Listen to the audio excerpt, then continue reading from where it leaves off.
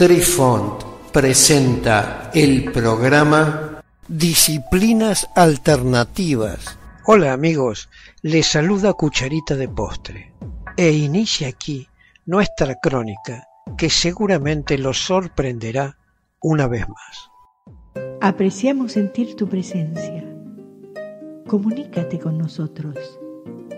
Hazlo, Hazlo. vía Twitter en arroba trifón guion bajo media. Hola, soy Besitos de Sol. En el programa de hoy escucharemos la dirección del proyecto Stargate. La unidad era de pequeña escala, comprendía de 15 a 20 individuos y estaba dirigida por las siguientes personalidades. Frederick Holm Skip Atwater. El teniente Atwater fue el primer oficial de operaciones de la FT, Unidad de Visualización Remota Operativa de MAID. Él llegó a Fort Meade en el año 1977, cuando cumplía sus 20 años. Mientras estaba con el destacamento de explotación de sistemas, sugirió al jefe del destacamento, el coronel Robert Keenan, que el ejército desarrollara un pequeño grupo experimental de psíquicos, que estuvo comandado por los espectadores remotos, conocidos como Schnabel y Jim, según se describe en la historia secreta de los espías psíquicos de América, ediciones del del año 1977, páginas 11-3. De 1978 a 1988, Skip Adwaiter fue el oficial de operaciones y entrenamiento para el programa de vigilancia remota, que fue altamente clasificado en la US Army Intelligence.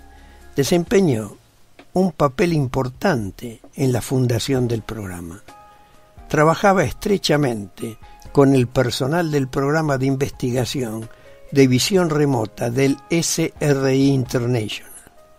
Entrenó al personal de inteligencia profesional para la visión remota y luego utilizó estos espías psíquicos altamente clasificados para llevar a cabo miles de misiones de recopilación de inteligencia de visión remota para una variedad de agencias de inteligencia de Estados Unidos. Durante 10 años, Skip trabajó directamente con el grupo de espectadores remotos, ayudando a perfeccionar sus habilidades. Después de retirarse del ejército en el año 1988, Atwater se convirtió en el director de investigación del Instituto Monroe donde fue autor del proceso Emmy Sinks del mismo instituto. General de División Albert Stubelbin fue un patrocinador clave de la investigación interna en Fort Meade y estaba convencido de la realidad de una gran variedad de fenómenos psíquicos. Exigió que todos los comandantes de su batallón aprendieran a doblar cucharas a lo Uri Geller, y él mismo intentó varias hazañas psíquicas, incluso intentando atravesar las paredes.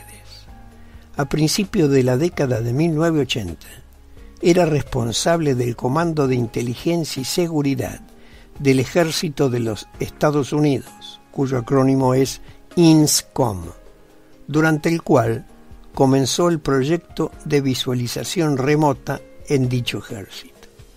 Poco después de convertirse en jefe de INSCOM, Stubelbein comenzó un programa llamado Grupo de Trabajo de Amplio Rendimiento, una serie de métodos para mejorar el rendimiento de sus oficiales. Estos iban desde la programación neurolingüística de Tony Robbins hasta las cintas Hemi Sinch del Instituto Monroe, donde Stubelbein a menudo enviaba a sus oficiales. Los partidarios de doblar cuchadas fueron iniciados por un consultor de la industria de defensa de la costa oeste llamado Jack Hawke.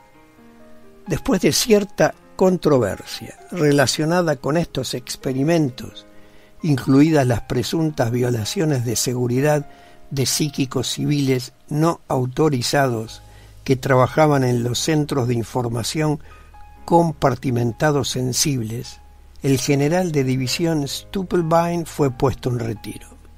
Su sucesor, como comandante del INSCOM, fue el general de división Harry Soyster, quien tenía reputación ser un oficial de inteligencia mucho más conservador y convencional.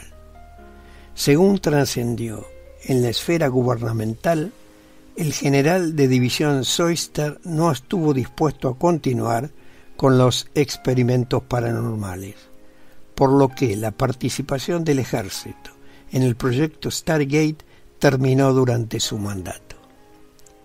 Ingo Douglas Swan. El logro de Swan fue liberarse del molde convencional de la experimentación casual y el agotamiento de candidatos y desarrollar un conjunto viable de protocolos que incluyeran la clarividencia en un marco denominado Coordinate Remote Viewing, cuyo acrónimo es CRV. Es un artista neoyorquino que participó en muchos experimentos psíquicos. Sirvió en el ejército de los Estados Unidos desde el año 1955, actuando principalmente en el lejano Oriente y Corea. Después abandonó el ejército para seguir su carrera en la escritura y el arte y se involucró en un círculo de parapsicólogos. Ha sido amigo por mucho tiempo de Robert Monroe, presidente del Instituto Monroe, y comenzó a trabajar con Cliff Baxter en septiembre del año 1971.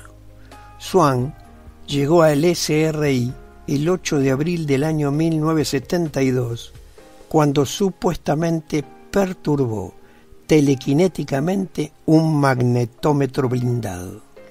A finales de los años 70 y principios de los 80, Swan desarrolló un protocolo estricto para la visualización remota que solía capacitar a los nuevos reclutas de Center Lane en 1983. Según el autor John Wilhelm, Swan era un cienciólogo en el nivel 7, el nivel más alto en ese momento. Queridos amigos, los esperamos en nuestro próximo encuentro con un nuevo artículo que estamos seguros será de vuestro interés. Un cálido abrazo para todos. Adiós. Apreciamos sentir tu presencia comunícate con nosotros. Hazlo, Hazlo. vía Twitter en arroba trifón-media. Este episodio lo encuentras en Anchor, Spotify y en tus plataformas favoritas. Hasta siempre amigos, besitos de sol y cucharita de postre les dicen gracias por pensar